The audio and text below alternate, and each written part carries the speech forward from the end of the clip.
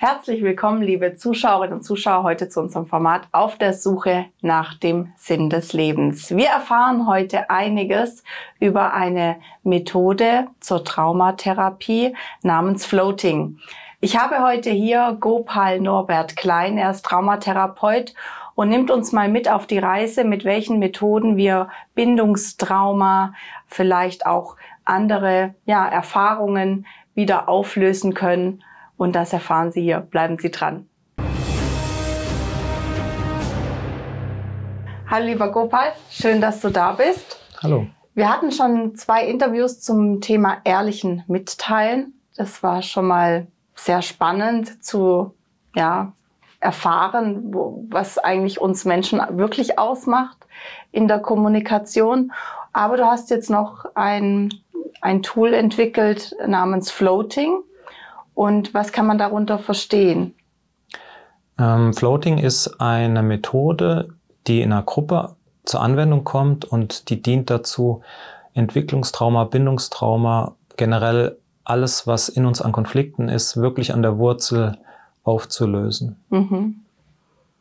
Ja, das will ja eigentlich jeder, oder? Äh, nein, nein, jeder stimmt nicht. Aber viele Menschen, die sich mit ihrer Persönlichkeitsentwicklung auseinandersetzen, haben natürlich eben das Ziel, genau diese Traumata aufzulösen. Genau. Wichtig ist erstmal zu realisieren, dass das, worunter wir leiden, überhaupt unter dem Begriff Entwicklungstrauma und Bindungstrauma fällt. Das ist vielen Menschen ja auch nicht klar. Ne, die sagen zum Beispiel, ich habe Konflikte oder ich habe Ängste oder Depressionen. Ähm, aber der Zusammenhang, dass das was mit Trauma zu tun hat und was das eigentlich genau ist, Trauma, der ist eben in der Gesellschaft den meisten Menschen gar nicht bewusst. Das äh, spricht sich jetzt langsam rum, beginnt sich rumzusprechen. Aber viele sind, die wissen gar nicht, wonach sie suchen müssen. Ja, mhm. Und ähm, wenn man da genauer hinschaut, dann kann man sagen, dass fast alle Probleme, fast alles Leiden auf Entwicklungs- oder Bindungstrauma zurückzuführen ist. Und das sind wiederum Erfahrungen im Beziehungskontext in der Kindheit, die eben so destruktiv waren, dass wir als Erwachsene nicht mehr vollständig in Beziehung und Kontakt treten können und eben sich aus dieser Not, die daraus entsteht, eben Symptome und eben dann Kompensationen entwickeln. Und mit Floating können wir das wirklich im Kern auflösen. Geht es auch so in diese Richtung von innerem Kindheilen? Ja, also kann, das so die? Das, mm, das geht in diese Richtung, wobei ich diesen Begriff nicht verwende, weil wir sind ja keine Kinder mehr. Sowas wie ein inneres Kind gibt es eigentlich nicht. Das sind bestimmte Erfahrungsräume, die wir ja jetzt als Erwachsene erleben. Es ist so ein bisschen problematisch, das so äh, zu nennen, aber das ist einfach üblich. Es wird oft so gesagt, inneres Kind, innere Kindarbeit. Im Prinzip trifft das die Sache. Und ähm, ich bin darauf gestoßen, weil in den ganzen Jahrzehnten meiner eigenen Suche ist mir halt irgendwann aufgefallen, dass in den Gruppen und Therapien, in denen ich war, ging es nie um das, was in mir in Bezug auf andere Gruppenteilnehmer wirklich passiert. Und ich habe gesehen, dass das nirgendswo wirklich auf den Tisch kommt. Und das, das, wo das noch relativ nah dran ist, ist zum Beispiel das Familienstellen. Mhm. Ja. Aber da wird es sozusagen auch extrahiert und mit Vertretern sozusagen themenorientiert ähm, abstrakt abgehandelt oder gelöst. Und mir ist einfach klar geworden, wir müssen auch das nicht machen. Es reicht wirklich direkt hinzugucken, was jetzt zwischen den Teilnehmern passiert und in den Teilnehmern. Und das muss adressiert und gelöst werden. Und aus diesem, aus dieser Erkenntnis heraus habe ich die Floating-Arbeit entwickelt. Also das ist ein sehr äh, komplexes System in der Anwendung für den Therapeuten. Ähm, praktisch gesehen heißt es einfach nur, dass wir, um jetzt einfach mal eine Orientierung zu geben, dass wir in einer Gruppe mit dem Menschen, mit dem wir die meisten Probleme haben, in einen vollständigen Kontakt und Austausch kommen. Und das machen wir ja normalerweise nicht. Wir, wir gehen nicht zu einem Menschen und sagen, ähm, mit dir habe ich ein Riesenproblem, ich denke genau das über dich und habe die und die Gefühle, sondern das versuchen wir eben zu vermeiden und zu verheimlichen und da drumherum zu navigieren, ja, oder auch andersrum. Ich, da ist vielleicht jemand, wo ich gerne hin möchte, aber schaffe das auch nicht, das zu kommunizieren. Und das hat alles ähm, Gründe, die eben in der Kindheit ihren Ur Ausgangspunkt hatten, die sich aber sozusagen in jedem Moment neu manifestieren. So, und da könnten wir dann äh, uns das angucken, ja, was das im Detail eigentlich genau ist und wie das dann aufzulösen ist. In der Gruppensitzung muss ich dann den Menschen mit dem größten Konfliktpotenzial ja nicht mitbringen, oder? Der kann ich den anderen Teilnehmer stellvertretend für den nehmen oder? Also es ist so, dass äh, das nicht notwendig ist. Es ist so, ähm, dass in jede Gruppe, in die wir gehen, stellt unser System die Kindheit blitzartig wieder her, indem ah. es nicht integrierte Anteile auf möglichst passende Menschen projiziert. Und deswegen merken wir ja gar nicht, dass wir in einer Traumwelt leben, ja wir merken nicht, dass wir projizieren und immer noch uns wie in der Kindheit benehmen und ähm, die Umgebung so einstufen. Das hat mit dieser Projektion zu tun. Deswegen müssen wir das nicht machen. Ja, und die, der Ablauf ist so, dass ich zum Beispiel dann jemand frage, der was auflösen möchte. Ich bitte den dann das Problem wie es ihm erscheint, zu beschreiben. Darum geht's nie wirklich, mhm. ja, weil der sagt dann, derjenige sagt zum Beispiel, ich habe Höhenangst oder ich habe eine Depression oder ich habe ständig Konflikte. Und dann frage ich ihn, wer in der Gruppe hat damit am meisten zu tun? Und dann kann derjenige, ohne dass er das selber weiß und versteht, kann er sagen, es hat mit dir zu tun. Man könnte auch sagen, du bist scheinbar schuld. Das System stellt die Kindheit her und projiziert etwas auf diesen Menschen. Mhm. Ja? Und das, was dann passiert ist, dass ich zwischen diesen zwei Menschen dann einen wirklichen Austausch letztlich im Sinne des ehrlichen Mitteilens anleite. Und zwar so, dass es zu einem echten Kontakt kommt. Und das bedeutet, dass das, was seit der Kindheit nicht mitgeteilt werden konnte, durchläuft. Und zwar auf beiden Seiten. Und dann werden zwei Menschen gleichzeitig transformiert. Das ist so der prinzipielle Ablauf. Mhm. Super. Ja, ich hatte ja im Vorfeld auch immer auch deine Interviews angeschaut und es war so, ich, ich konnte das nicht greifen, ja, was, was passiert da, was findet da statt und dann habe ich ja wirklich mit dir dann eine Floating-Sitzung gemacht und, und habe erstmal gemerkt, durch diesen Prozess, durch diese Kommunikation, was auch immer du da mit mir gemacht hast, dass, ähm, dass man wirklich dieses, dieses Kindheitsmuster, was man sich da übergestülpt hat, dass es ja so verdeckt ist, dass man da mit dem Verstand ja gar nicht rankommt. Gell?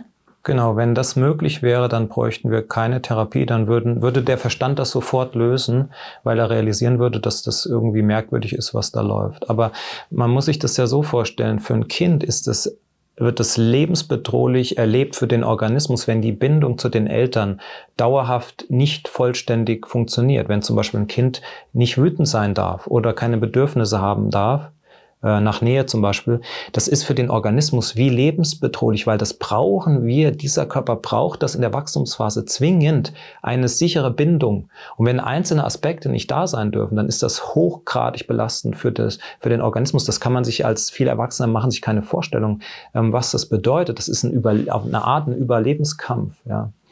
Und das, das hängt halt in unseren, in unseren Systemen fest. Und damit wir nicht verrückt werden als Kinder, weil wir müssen das ja über 15 Jahre sozusagen aushalten, ein nicht liebevolles Umfeld, ja, entwickelt der Organismus eine Notlösung. Es gibt keine Lösung, keine wirkliche, weil das Kind hängt von den Eltern ab, es kann nicht weg. Es braucht aber die Zuwendung von genau diesen Eltern, die aber nicht in der Lage sind, diese vollständige Zuwendung zu geben. Also ein Dilemma, was nicht lösbar ist. Und damit wir das überleben und irgendwie stabil bleiben, entwickelt dieser intelligente Organismus Notlösungen. Und äh, Notlösung bedeutet, ähm, dass der Erlebnisraum reduziert wird. Kann zum Beispiel sein, ja, dass wenn ein Kind nicht in seine Autonomie und in seine Kraft und Aggression gehen darf, weil die Eltern damit ein Problem haben, dann wird es das verleugnen in sich, um die Bindung nicht zu gefährden, um den Kontakt zu den Eltern nicht zu gefährden. Und dann wird es irgendwann sagen, das ist gefährlich oder böse. Und dann sagt es zum Beispiel, ich bin falsch. Ja, mit mir stimmt irgendwas nicht. Und das dient einfach nur dem Bindungsschutz. Weil wenn ich in der Vorstellung aufwachse, dass mit mir was falsch ist, dann kann ich ja auch selber was machen, um richtig und gut zu werden. Und so erzeuge ich eine künstliche Illusion von Handlungsmacht, um mich selber stabil zu halten, weil sonst diese Erkenntnis würde uns äh, sprengen, ja, dass ich ohnmächtig ausgeliefert bin und nichts machen kann, aber diese Zuwendung brauche. Und dieser ganze Komplex, mit dem kommen wir dann ins Erwachsenenleben. Das ist alles automatisiert und deswegen können wir das nicht mehr sehen. Zum Glück, wir würden verrückt werden sonst. Das wäre nicht zum Aushalten. Und deswegen braucht's ab einem bestimmten Grad von Verzerrung oder Traumatisierung braucht es einen Spezialist, der das, der da von außen draufschaut und ähm, uns hilft, diesen blinden Fleck zu, zu erkennen. Und wenn der blinde Fleck in den Fokus kommt und dann auch in den Kontakt gebracht wird, dann kommen eben die ganzen starken Emotionen, die zurückgehalten wurden. Mhm. Und die Arbeit des Float, eines Floating-Therapeuten ist sozusagen den Beteiligten zu helfen, diesen blinden Fleck zu sehen. So, und das, was das genau ist, dieser blinde Fleck, das müssten wir dann noch im Detail ähm, erörtern. Ja, gerne. Ähm, du hattest uns jetzt auch Folien mitgebracht. Ich weiß nicht, wollen wir da auch mal thematisch so ein bisschen eingehen drauf? Können wir machen, gerne. Ja, ja das ähm, ist erstmal die Ausgangsbotschaft, um das Standard, die Standardprozedur, wie wir normalerweise versuchen, unsere Probleme zu lösen, gleich von Anfang an erstmal zu, zu deaktivieren, also sozusagen, um das Abbiegen auf äh, Nebenschauplätze und Irrwege äh, gleich von Anfang an zu äh, verhindern. Und das, was man da sieht, ist, ähm, kann man sagen, das ist die Lösungsstrategie oder viele, viele, ähm, das sind Lösungsstrategien des Teils in uns, der sich eben abgespalten hat. Und dieser Teil findet die Lösung nicht. Das ist das, was du genannt hast mit blinder Fleck. Mhm. Wir suchen überall um diesen blinden Fleck herum und das ist das Suchen außerhalb des blinden Fleckes, zum Beispiel mit Handlungsstrategien. Die Idee, wenn ich irgendwas anders mache, dass ich dann mein Problem löse. Mhm. Pläne, Handlungsanweisungen, Strategien, ja, ein Weg in Zeit und Raum. Darum geht's nicht. Etwas ändern wollen geht in die gleiche Richtung. Das ist die Ebene von Machen. Die Idee, ich muss etwas ändern, damit dann mein Problem oder mein Leiden aufgelöst wird. Das führt alles nicht zum Ziel. Das sind alles die, das Drehen außerhalb des blinden Fleckes in, in, in der Warteschleife. Die Hoffnung auf eine gute, schöne Beziehung kann als Konzept, als Handlungsstrategie benutzt werden. Wenn ich erstmal eine gute, schöne Beziehung habe, dann ist alles in Ordnung. Mhm funktioniert nicht. Selbst wenn diese schöne Beziehung oder der perfekte Partner erscheinen würde, würde mir das nichts nützen, solange ich nicht wirklich in eine Beziehung äh, gehen kann. Ja, das, der würde dann von mir abprallen. Dann natürlich die Idee, das Leiden, das Problem, das Symptom, den Konflikt lösen zu wollen. Die, diese Idee, das lösen zu wollen, ist schon Teil der Sackgasse. Das funktioniert nicht. Alles, was mit Machen, Verändern, Vergangenheit, Zukunft zu tun hat, das führt nicht zur Lösung. Und jetzt ist halt dieser Verstand, dieser Teil, der ist halt jetzt wie ein bisschen lahmgelegt, weil wir haben ja nichts anderes. Wir haben diesen, diesen Verstand, der versucht, das Leiden aufzulösen. Und der kann nur in, in Handlungsstrategien und mhm. Machen und Tun agieren. Und wenn wir dem das alles wegnehmen, dann ist wie so eine Lücke erstmal. Und das ist dann da, wo es losgeht. Das ist der Einstieg in den blinden Fleck. Ja, immer noch faszinierend. Ich, ich kann es immer noch nicht beschreiben, was du da gemacht hast bei mir, aber letztendlich war der, das, das Thema, dass es jetzt im Leben, dass das Kind nicht ähm, sich erlaubt hat, dass es auch um sich gehen darf, gell? Das war ja, oder? Ähm, das war die Strategie. Das ist eine mögliche Strategie, ähm, um Trennung heute zu erzeugen. Ne? Wir, wir, wir setzen den Trennungsvorgang, der uns als Kind aufgezwungen wurde, in unseren Beziehungen fort. Wenn ich zum Beispiel als Kind meine gesamten Bedürfnisse verleugnen musste und mich komplett an der Außenwelt, also an den Eltern orientieren musste, weil die selber so schwach sind. Sein, zum Beispiel. Genau, sich komplett anpassen heißt, ich verleugne mich selber, dann mhm. wird das automatisiert und später merke ich meine eigenen Bedürfnisse nicht mehr und ich merke nicht mal, dass ich meine eigenen Bedürfnisse nicht mehr merke, mhm. sondern ich bin so automatisiert an der Außenwelt orientiert, dass ich das nur noch indirekt merke, dass irgendwas nicht stimmt. Zum Beispiel an Symptomen, an Krankheiten, an Unfällen, an Wutausbrüchen, Konflikten, fehlender Partner, all möglichen. Da merke ich dann das, was nicht stimmt. Und dann versuche ich, das auf dieser Ebene zu lösen. Und dann klappt das nicht. Ich kann, es nützt nichts, an dem Symptom herumzubasteln. Weil da ist das Problem gar nicht. Mhm. Reicht letztendlich die Erkenntnis oder gibt es da noch weitere? Jetzt kommt natürlich wieder der Kopf, der. Weißt du, was passiert da genau? Also. Ja, das ist halt, ähm, das ist letztlich sehr komplex, das zu erklären. Ähm, wir reinszenieren unsere Kindheit in jeder Sekunde neu. Mhm. In jeder Sekunde. Unbewusst läuft das. Und das machen wir durch Projektion. Und das heißt, wir projizieren, dass wenn ein Mensch uns näher kommt, dass der eine gefährliche Handlung in Bezug auf uns macht. Und eine gefährliche Handlung kann man den vier Standard-Trauma-Verteidigungsreaktionen zuordnen, die einigen vielleicht bekannt sind. Ähm, angreifen, weggehen, sich totstellen, also ignorieren und manipulieren. Ja, oder Fawning kennen eine, einige den Begriff. Das ist der Kern der ganzen Problematik, was unbewusst ist. Das heißt, wir haben ja als Kind erfahren, dass Nähe gefährlich ist. Das war ja eine Erfahrung früher. Zum Beispiel, dass als Kind unsere Grenzen überschritten wurden. Oder dass die Mutter oder die Eltern sich distanziert haben, wie auch immer. Das war die Realität. Also wird im Nervensystem verschaltet Nähe, das, was ich eigentlich brauche, mit Gefahr. Das wäre genauso wie, wenn wir unbewusst glauben würden, dass Wasser tödlich giftig wäre. Und wir haben einen wahnsinnigen Durst. Aber wir wissen, angeblich ist Wasser tödlich. So, was, was machen wir jetzt? Wir, wir brauchen zwingend dieses Wasser gehen aber davon aus, wenn wir es trinken, sterben wir. Das, das ist die Situation, in der wir leben. Und das passiert über Projektion. Ja, das heißt, das System, also der Organismus stellt sich vor, dass etwas Gefährliches passiert bei mehr Nähe. Und das wiederum teilen wir nicht mit. Wir sprechen nicht darüber und oft ist es uns auch selber nicht bewusst, was wir da projizieren. Und das ist der eigentliche blinde Fleck, von dem du gesprochen hast. Das ist ein Teil dieser Projektion. Der zweite Teil ist, dass wir uns auch sozusagen vorstellen, wie wir das heute angeblich auslösen. Zum Beispiel, wenn ich projiziere, dass ich verlassen werde, wenn mir jemand näher kommt, wenn wir uns annähern, dann projiziere ich auch, wie das angeblich durch mich ausgelöst wird. Zum Beispiel durch meine Bedürfnisse oder meine Wut. Das ist also die zweite Komponente. Wenn ich wütend bin, dann werde ich verlassen. Wenn ich ein Bedürfnis nach Eigenständigkeit habe, werde ich verlassen. Ein Beispiel. Die dritte Komponente ist eine Erklärung, warum derjenige so reagiert.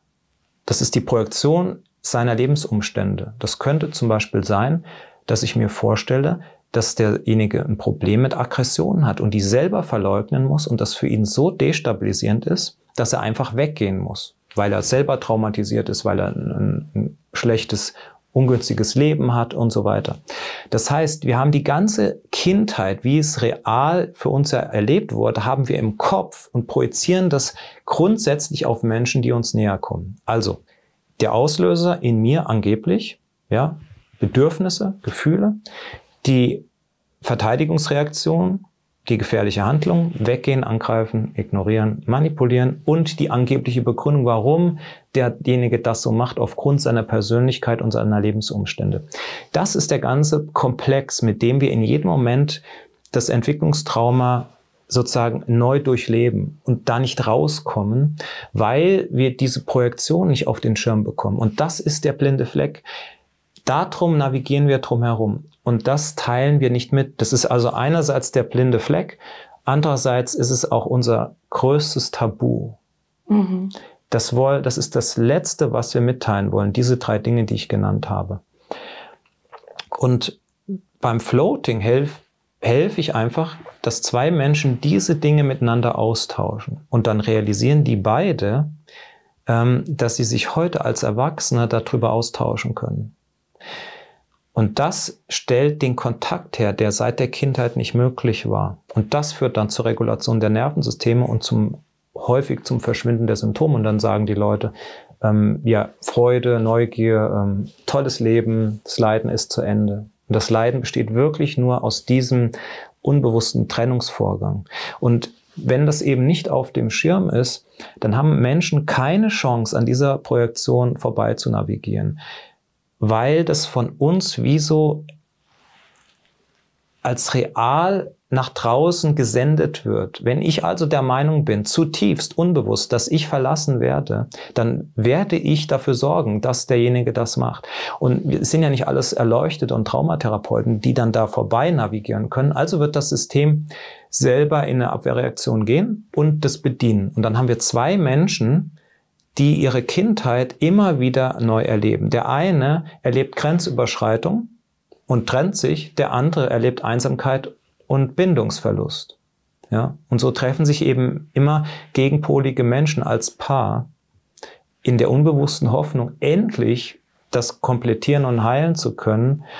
Und wir sind als Gesellschaft einfach so, so weit vom Weg abgekommen, dass wir nicht verstehen, was da läuft und wie wir das heilen können. Und das Floating ist einfach ein, ein Werkzeug, wo ein Therapeut eben diese Dinge wieder zusammenbringen kann und die Menschen mit der Realität in Kontakt bringen kann. Und das Entscheidende jetzt noch äh, zum Schluss ist, dass es nicht darum geht, dass die Projektion nicht stimmt, weil das kann sein, dass sich das jetzt vielleicht jemand vorstellt. Ähm, was ist, wenn die Projektion stimmt? Also was ist, wenn ich mir vorstelle, unbewusst, dass ich verlassen werde? Und der andere sagt, ja, das stimmt, ich habe einen Impuls, irgendwie einen Gedanke, am liebsten würde ich hier weg. Macht nichts funktioniert trotzdem. Weil es geht nicht darum, dass die Projektion nicht bestätigt wird, sondern es geht um den Kontakt. Der Kontakt fehlt. Und wenn zwei Erwachsene sich über ihre inneren Vorgänge austauschen können, dann können die beide die Defensivreaktion loslassen und dann müssen sie nicht mehr sich trennen, angreifen und so weiter und können sich austauschen. Und damit ist dieser ganze Leidenskomplex gelöst. Und dann löst sich jetzt keine Panik aus bei dem Gegenüber. Weil du hast jetzt gerade das Beispiel gebracht, ich gehe mal davon aus, jetzt ein Paar sitzt sich gegenüber, die Frau hat die, dieses Muster, ähm, als Kind wird man verlassen oder und reproduziert sich das und sagt dann in dieser Floating-Übung zu ihrem Partner, ähm, du verlässt mich oder irgend, du ja. hast ja auch die Sätze, ja, genau, und, und der genau. Partner sagt, ja, hier und da kommt der Gedanke durchaus mal auf. Also, und das löst dann bei dem Gegenüber kein. Ähm das, das ist jetzt schwer, das so zusammenzufassen. Also mhm. wenn wir das Beispiel nehmen, würde das so aussehen, dass äh, die Frau, das, das ist ja auch ähm, bestimmte Konstellationen sind einfach typisch, eher typisch für Frauen, eher typisch für Männer. Wir können sagen, dass wir nehmen jetzt einfach mal so, so wie so ein, ein typisches äh, Beispiel, wo äh, die Ehefrau oder die Partnerin Angst hat, verlassen zu werden und der Mann hat Angst vor Grenzüberschreitung. Das ist mhm. einfach ähm, fast immer der Fall in dieser Konstellation. Und das würde dann so aussehen, dass ähm, die Frau sagt, in meinem Kopf ist die Idee, dass du mich verlassen möchtest, dass du mich irgendwann verlassen wirst. Mhm. Und dann muss sie fragen, ob ihr Partner das jetzt vorhat. Mhm. Also ich erkläre das jetzt so, das ist nicht zum Nachmachen gedacht, sondern das ist einfach, um zu erklären, wie so eine Sitzung abläuft. Das braucht einen Therapeuten, das kann man nicht alleine zu mhm. zweit machen. Sie fragt dann, hast du jetzt vor, mich zu verlassen? Und dann sagt der Mann, ja oder nein. Eine formale Antwort. Ja, ja oder nein. Mhm. Hast du jetzt vor, mich zu verlassen? Ja oder nein? Und in der Regel sagt der Mann dann nein, weil er ist ja noch da, er ist ja mit zur Therapie gekommen, er hat ja Interesse an der Beziehung, also wird er sagen, in der Regel nein. Ja? Theoretisch könnte er auch Ja sagen, ja. Dann würde er dann gehen und äh, sich trennen und die Frau würde ihn nie wiedersehen, ja. Das würde auch funktionieren, weil das ist halt jetzt alles sehr komplex zu erklären. Sie, die, die Transformation ist halt der Weg in Kontakt zu treten. Mhm. Für die Heilung ist nicht, ist es nicht hauptsächlich relevant, wie das Gegenüber reagiert, sondern die Transformation wird im Wesentlichen dadurch ähm, in Gang gesetzt, dass ich mit dem, was da ist, wieder in Kontakt trete. Ja, also es ist eh, praktisch passiert das nicht, aber ich sage einfach nur rein theoretisch könnte der Mann in so einer Sitzung sich trennen und mhm. nie mehr wiederkommen. Und ja, dann würde dennoch ist die Transformation passiert, weil ich den blinden Fleck kommuniziert habe. Genau, es ist noch nicht komplett, aber es, es ist angestoßen worden mhm. und das heißt, es ist grundsätzlich was in Bewegung gekommen. Und dann ähm, das, das führt jetzt einfach zu weit, dann zu erklären, wie das dann weitergeht. Dann würde ich das auf meine Person umlenken oder auf jemand im Raum. Mhm. Ja, also es würde dann in jedem Fall weitergehen. Das ist einfach nur wichtig zu wissen. Aber meistens, also immer ist es ja so, nein, das werde ich jetzt nicht machen. Das, es geht ja um die Handlung, mhm. nicht was in dem Partner los ist innerlich, sondern eine Gefahr ist immer die Handlung. Und das mhm. heißt, sich physisch trennen, physisch angreifen, ja, mhm. sich betäuben mit irgendwelchen Substanzen. Und wir fragen, also derjenige fragt, ob der Partner das jetzt vorhat. Hast du jetzt vor, mich physisch anzugreifen? Hast du jetzt vor, mich zu verlassen? Mhm. So, nein. Und dann ähm, beginnt der andere zu sagen, was in ihm los ist. Und andersrum sieht das zum Beispiel so aus.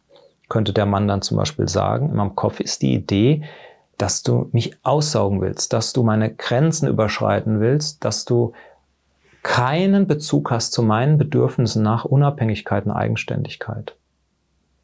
Ja, und dann sozusagen bringt man diese Projektionen auf sozusagen die Bindungsebene als Kind. Und das hat immer was mit, mit zwei Bedürfnissen und zwei Gefühlen zu tun, nämlich dem Bedürfnis nach Eigenständigkeit mhm. und nach Nähe. Und damit sind die Gefühle Trauer und Wut verknüpft. Ja. Und in diesem Prozess des Abgleichens, des Austauschens realisieren beide, dass sie ja beide ein Beziehungsinteresse haben und dass sie beide keine Gefahr füreinander darstellen und keiner böse Absichten hat, sondern nur Notzustände haben, die nicht kommuniziert wurden, weil auch das Zerren und Saugen einer Frau, der die Grenzen des Mannes zu überschreiten, dient nur dazu, den Abgrund von Einsamkeit ausblenden zu können. Und genauso die Notreaktion von einem Mann, sich ständig zu distanzieren und zu trennen, dient nur dazu, die Eigenständigkeit zu retten, die als Kind ständig torpediert wurde. Und beide kommen nicht auf die Idee, dass sie sich darüber einfach austauschen können, weil wenn das so wäre, würden sie selber ihr Trauma auflösen. Mhm. Also wird es durch den Therapeut angeleitet. Dann kommen sie auf der Bindungsebene in einen vollständigen Kontakt und dann reagiert sofort die Physiologie. Also das heißt, es wird dann sofort in dem Moment, wo dieser Austausch stattgefunden hat, zu einer Regulation, also zu einer Entspannung des autonomen Nervensystems. Mhm. Und was ich einfach rausgefunden habe, ist, ähm, es gibt ja jetzt viele Methoden zur Traumabearbeitung, die zum Beispiel am Körper ansetzen, wie TRE oder Yoga oder Vagusübung. Da gibt es jetzt ganz viel SSP. Und ich habe einfach rausgefunden, dass der Schlüssel und der Einstiegspunkt diese Projektionen sind. Und das ganz kurz noch zum Abschluss. Das habe ich deswegen rausgefunden, weil ich gesehen habe, wenn die Projektion aufgelöst wird bei den Menschen und sie in einen wirklichen Kontakt kommen, reagiert sofort die Physiologie mhm. und der Körper kommt nie wieder in diesen ursprünglichen Stress rein. Vielleicht ein bisschen, aber nicht mehr so wie am Anfang oder wie vorher. Umgekehrt passiert das nicht, wenn ich über den Körper ansetze und den Körper mit Methoden in die Regulation bringe, isoliert von einem Bindungskontext, habe ich zwar in der Sitzung ja, oder generell ein bisschen Erfolg, was die Regulation angeht, aber das Bindungsmuster, die Projektion wird nicht aufgelöst dadurch und deswegen stellt der Organismus den Stress früher oder später wieder her, weil er wieder anfängt, äh, Gefahr zu projizieren. Hm. Super. Also ich muss ehrlich sagen, man muss es mal erlebt haben. Ja. Ich glaube, das ist wirklich die, die Quintessenz an der Geschichte, weil im Erleben kam eigentlich bei mir auch die Faszination, was da alles möglich ist. Und es ist wirklich total schwer, das in Worte zu fassen. Wenn die Leute sich da wirklich jetzt mal mit dem Thema in das Erleben kommen wollen, gibt es denn da auch ähm, Möglichkeiten? Ja, genau, da gibt es äh, Möglichkeiten und ähm, eine ganz kurze Sache äh, als Beispiel, wie jetzt jeder Zuschauer das sofort für sich mal ausprobieren kann, wäre, wenn jeder, der hier zuschaut und das möchte, einfach mal an einen Menschen denkt, an den Menschen denkt, mit dem er die meisten Probleme hat mhm. und dann sich vorstellt, was dieser Mensch angeblich gefährliches vorhat und dann sich vorstellt, dass ich die Gefühle, die in mir sind, diesen Menschen mitteile. Dann kann jeder sofort eine kleine Erfahrung machen. Und wer mehr möchte, der ähm, schaut am besten auf meine Homepage traumaheilung.net. Da gibt es sehr viel Material dazu. Ich habe auch ein Buch für Therapeuten geschrieben zu dieser Methode. Ähm, das heißt, das Floating-Handbuch ist auch für Teilnehmer interessant. Und dort wird dann alles in der, in der Tiefe erklärt und natürlich biete ich auch Veranstaltungen äh, dazu an und ich bilde auch inzwischen Traumatherapeuten aus in dieser Methode. Super. Vielen lieben Dank, Gopal, dass du da warst und ja, ich wünsche dir weiterhin noch viel Erfolg bei der Transformation und bis bald. Vielen Dank. Liebe Zuschauerinnen und Zuschauer, ich hoffe, Sie konnten auch einiges mitnehmen. Vielen Dank fürs Zuschauen. Ich wünsche Ihnen noch eine wunderschöne Zeit und bis bald. Tschüss.